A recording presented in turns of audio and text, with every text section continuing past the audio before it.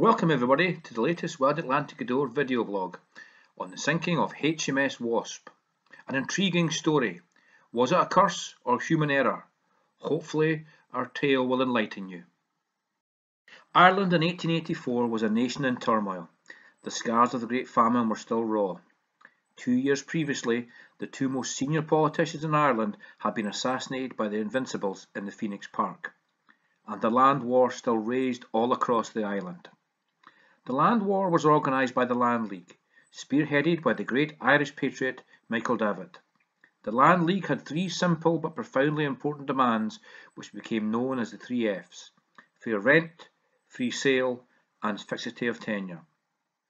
The landlords were mostly Anglo Irish, and many of those were absentees, living in England or Scotland in great style, while their tenants suffered in poverty, trying to scratch out a living in areas suffering from great neglect, as the absentee landlords refused to invest in their properties that many of them would seldom see or visit.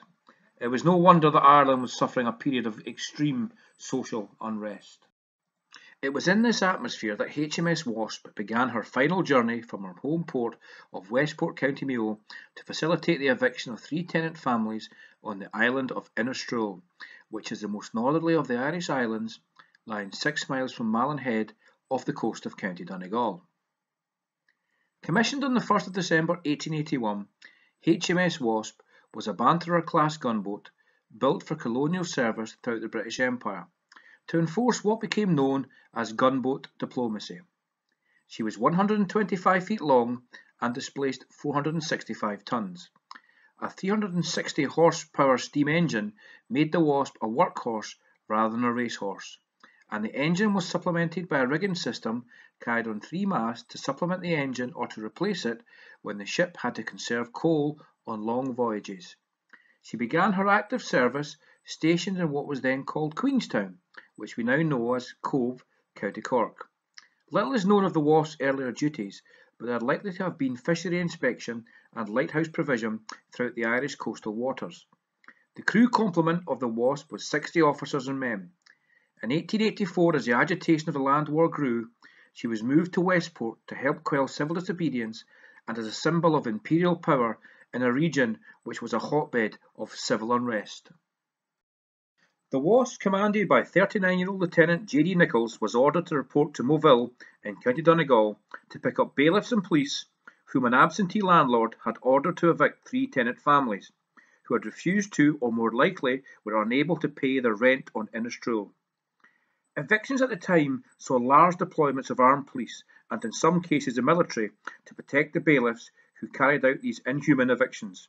A particularly nasty element of the eviction process was the destruction of the family's house by battering ram, so they could not return. There are many poignant photographs that show the horror and the brutality of these land war era evictions. So on the 21st of September 1884, HMS Wasp left Westport to facilitate yet another eviction of poor farming families from their homes. Ironically, this was not the Wasp's first visit to the island. The year previously, they had delivered a cargo of seed potatoes to the islanders donated by the Quakers, the Society of Friends. HMS Wasp did not appear to be in a hurry, as she was under sail and her steam engine was turned off. In the early hours of the 22nd of September, she was sailing nine miles off the coast of northwest Donegal and the island of Tory. Most of the crew, including the captain and his officers, were sleeping in their bunks. Naval historians have always questioned why the Wasp was sailing inside Tory rather than to her west, which would have given the ship greater sea room.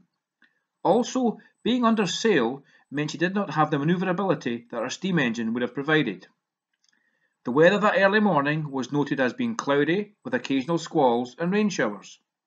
It was not classed as stormy or indeed hazardous.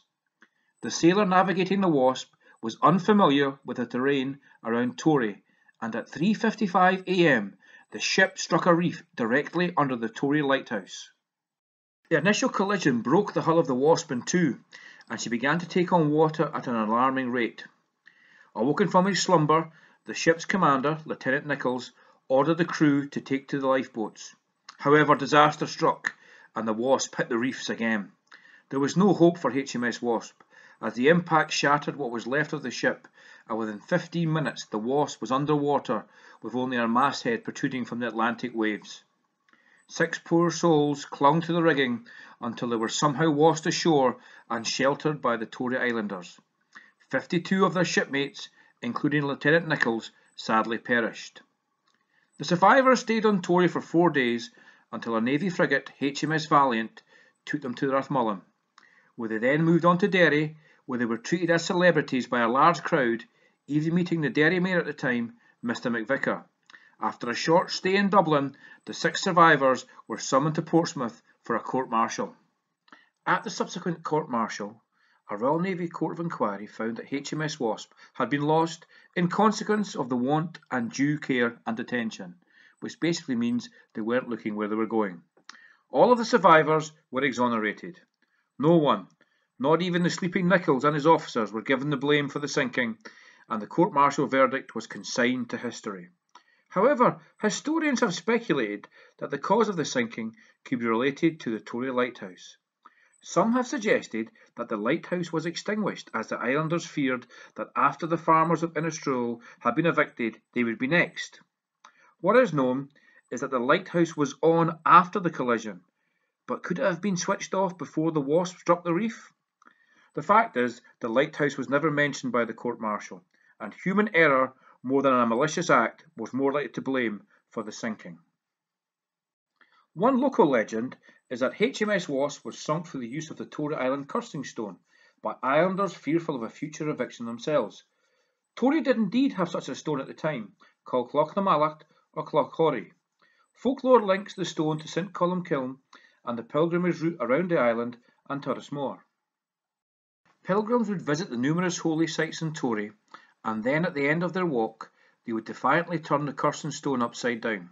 However, a curse could be invoked if the pilgrimage route was done in a counterclockwise direction. Folklore notes that such a curse helped defeat an invading English raiding party. No matter if you believe in curses or not, one fact we do know is that the cursing stone disappeared shortly after the sinking of the Wasp. The local priest, Father Michael O'Donnell, had it removed, and to this present day no one knows, or perhaps is willing to tell, where it is.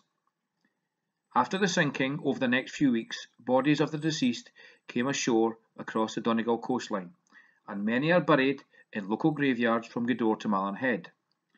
A monument was later erected in the churchyard of St Anne's Church of Ireland in Killalt, where several crew members are buried. This is a most poignant memorial as it looks out to Tory and the site of the sinking of HMS Wasp which never got to help evict poor Irish farmers from their homes on Inishtrahull. I hope you've enjoyed the story of HMS Wasp, and please check back on our Facebook page and our website for more stories about the history, folklore, and beauty of Gweedore. Thank you.